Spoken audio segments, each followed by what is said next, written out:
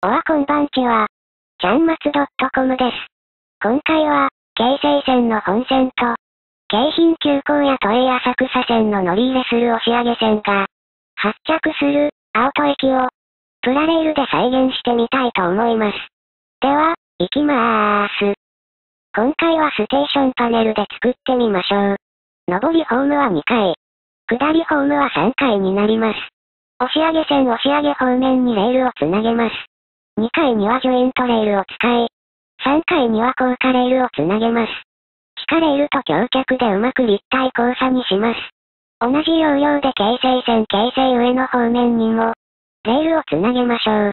大体完成したので、高砂方面もレールをつなげます。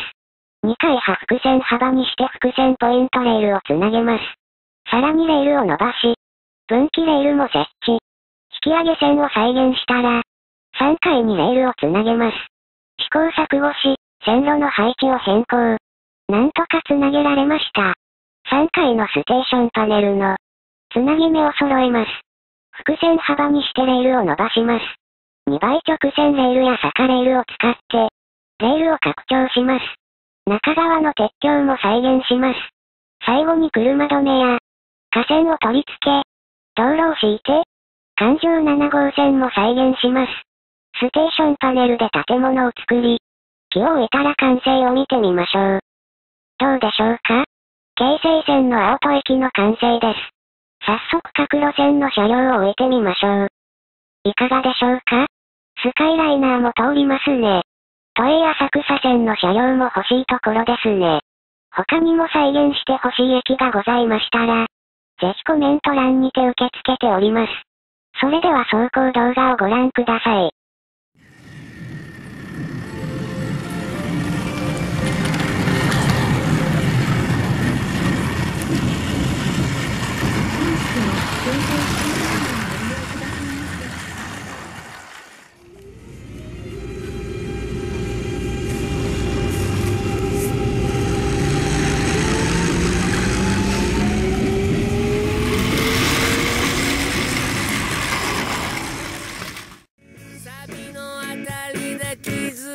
booty shot.